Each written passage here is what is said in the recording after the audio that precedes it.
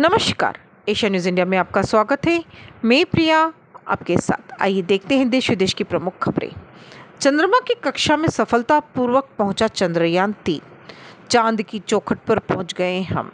ASI सर्वे का दूसरा दिन। मुस्लिम पक्ष के पाँच सदस्यों की मौजूदगी में तहखाने को खंगाला। ज्ञानवापी के तहखाने में मूर्तियाँ टूटा त्रिशूल मिला। पाकिस्तान की जिला कोर्ट ने इमरान खान को सरकारी गिफ्ट हड़पने के केस में तीन साल की जेल सुनाई है।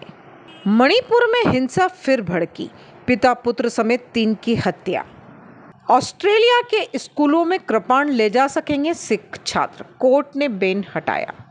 रूस में सबसे बड़े ऑयल टैंकर पर यूक्रेन के सी ड्रोन का हमला 11 लोग सुरक्षित।